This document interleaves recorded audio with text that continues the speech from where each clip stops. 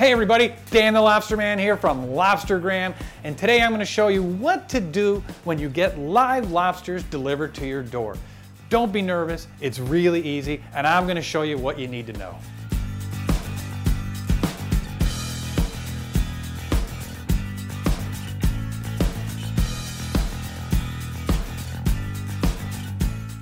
So people ask, what is a lobstergram? So imagine this, the delivery man is just to your door, you bring it in, and then you open it up, and what do you find? First of all, you've got the shell crackers, the butter, the lemon, the bibs, the seafood forks, the instructions. You have absolutely everything for the perfect dinner. And of course, you've got your succulent live lobsters. These were caught fresh in Maine, delivered to you right to your door. Okay, so our next step is how to cook the lobsters. So follow me and I'll show you the best way to do it. Okay, now we're ready to put the lobsters in the cooking pot.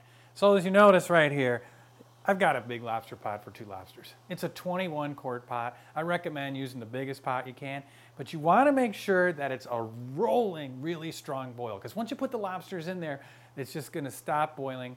And then when it comes to its second boil, and this is a key, that's when you do your timer and start it. Right now, these lobsters are about a pound and a quarter or so, so that's about a 10 to 11 minutes. So once we put the lobsters in, then we're going to let it to a second boil. Then it's to be 10 to 11 minutes. So we grab our lobsters. You firmly grasp it right behind the main claws. Don't be, don't be squeamish. Grab it nice and tight because you don't want them flapping around and falling out. Next thing you want to do is you want to put them in head first. It's painless. They don't feel it. And most of all, they don't scream. I've heard people swear to God that they scream. I've cooked 10,000 lobsters and never had a peep. So you put them in right there. Your lobster, put the lid on. It's going to stop boiling for a couple minutes. And as soon as it starts to boil, set your timer depending on the size of the lobster. And that's it.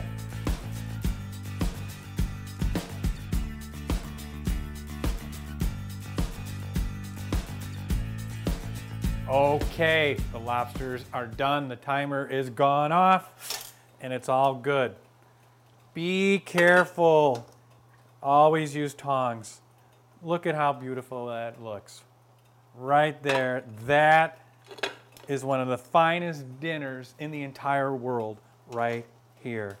And I'll tell you what, look how beautiful that's going to look on this plate too.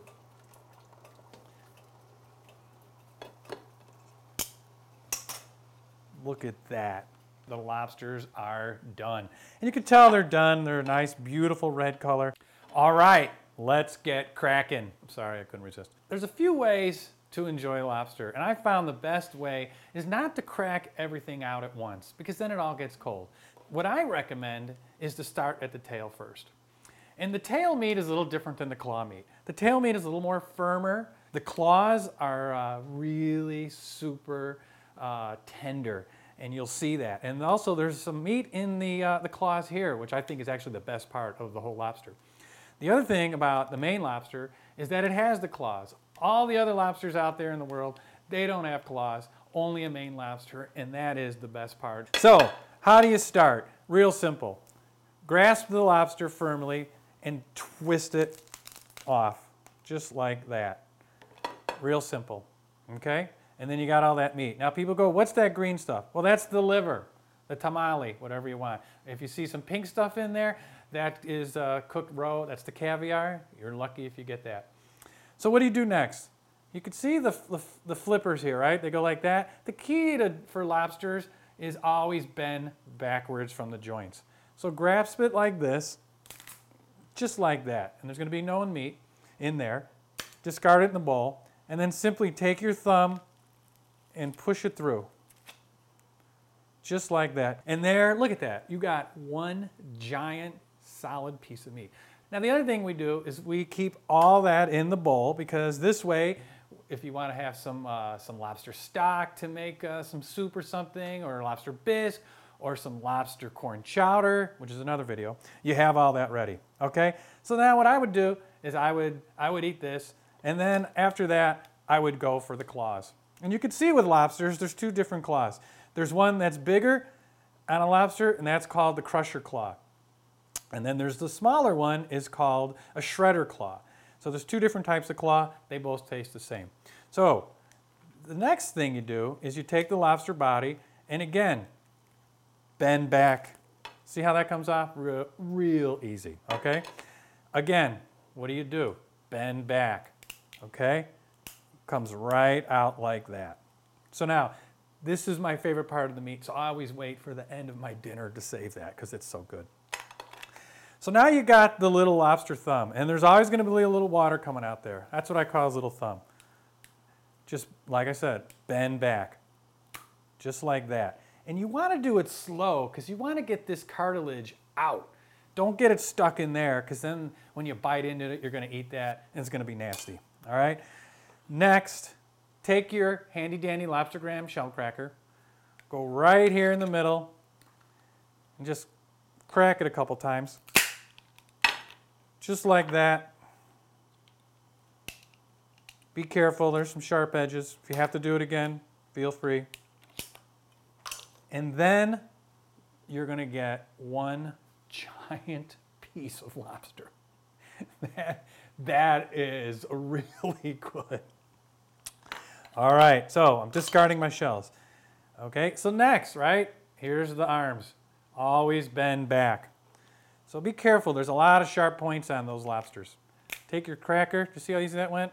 Go back, and just take your, your little pinky, push it through, and then you're gonna get another big chunk of meat out of there. And there's some more meat in there, so just kind of work at it. Yep, there's another chunk. Kind of like a bonus.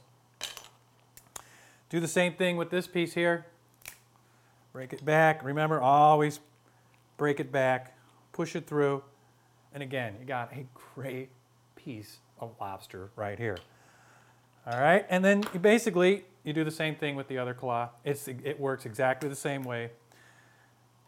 Keep your bodies here. There's a lot of great flavor in there. There is some meat in the legs here. And it takes a little bit of work, but you know, if that's all you got, it's well worth it. So that's what I recommend. Uh, also, if, uh, if you want to try something a little different, we do have some recipes at lobstergram.com that will show you how to you know, use the meat uh, for some lobster chowders or lobster tacos, different things like that. Thank you very much for watching and have a lobsterlicious day.